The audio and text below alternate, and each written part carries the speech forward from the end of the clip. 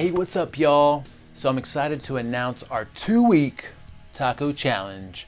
We're looking to create the ultimate taco resource here in Superhumans United. So my vision for this is that we have this comprehensive post that we can come to in the future that has just about every option we can imagine to make great tacos or at least get inspired to make our own version of some tacos. We're all going to be making our own separate posts, but I will compile something that has links to all these different posts. Now, why are we doing this? Because we love tacos. Most of us love tacos, and most of us probably thought that we had to give them up or they were off limits or something when we first started this. But as most of us know, you can have your tacos and eat them too. They just have to be made with the appropriate ingredients, SHTFI'd, if you know what I mean. Now, when I started this journey years ago, we did not have access to all the options that we have access to today. But now we want to fully embrace all those options because we're trying to make this work in a modern lifestyle. So here's what we're looking for. All right, first of all, make tacos your way. And I want you to create a separate post using the article feature so that you can use some of the rich text formatting, multiple pictures, bullet points, numbered lists, and things like that. Um, also, obviously, we want to use appropriate tacos. So we've got a list of all the things that we're aware of right now, you know, like the, um, the soft shell tacos, the hard shell tacos, we got a corn tortilla option that's available, some cheese wraps.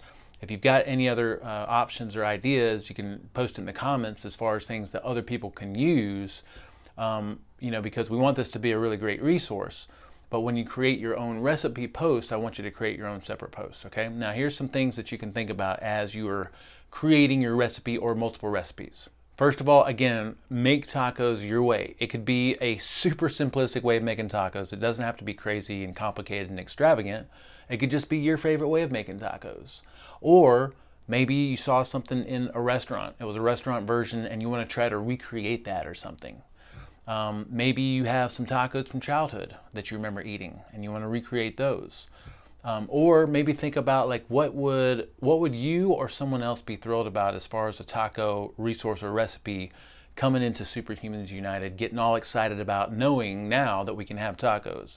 And, um, and again, don't hesitate to get creative with it. And um, you can post multiple recipes if you want to. Again, you can do your own personal version, some crazy enhanced version, some things you've never made before. We'd love to see it all, okay? And again, at the end of this two week challenge, I'm gonna make a taco resource post that links to all the different recipes that we have. Um, and also has all the resources for the tortillas and taco shells and, and things like that.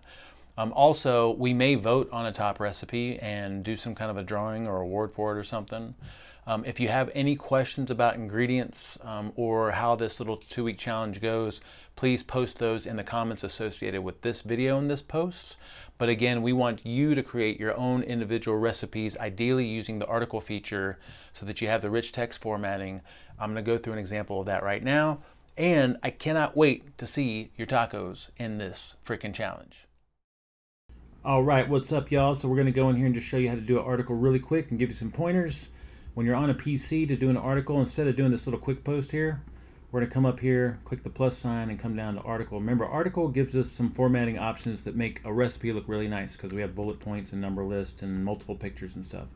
Um, I like to come up here and hit these double arrows to give me more workspace. And then you can give it a nice title.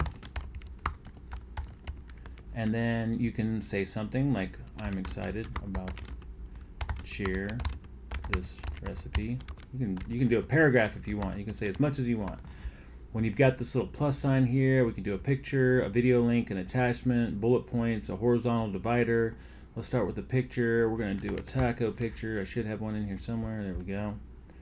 Now once I get the picture up, um, I have some options. Once it's in here, you see these right here. I can do, this is standard width. I can do full width, go back to standard width, centered, and I can also do it to the right and left of text so that I can have some text over here. So let's say I did it to right of text, and then I want to take this little ball here and shrink it, and I could type in a bunch of text here. So, um, so a lot of options as far as the pictures go. Um, I'm going to try to bring it back up to its size here.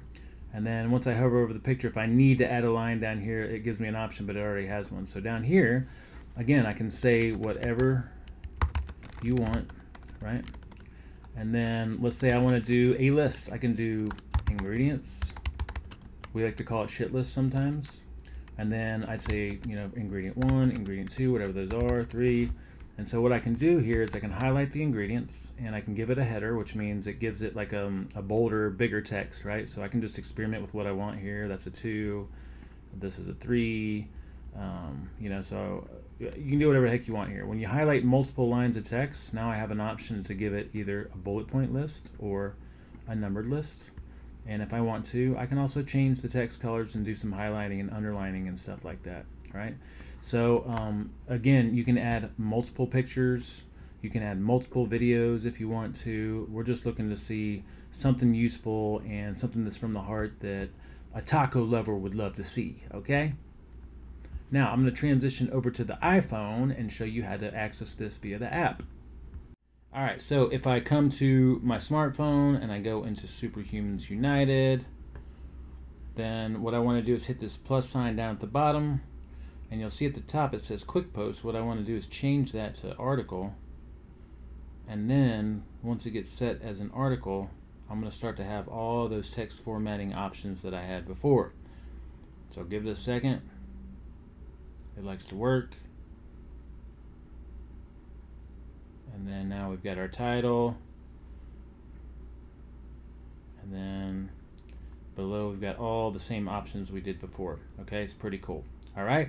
So let me know if you have any questions comments feedback or snide remarks. We'll talk to y'all soon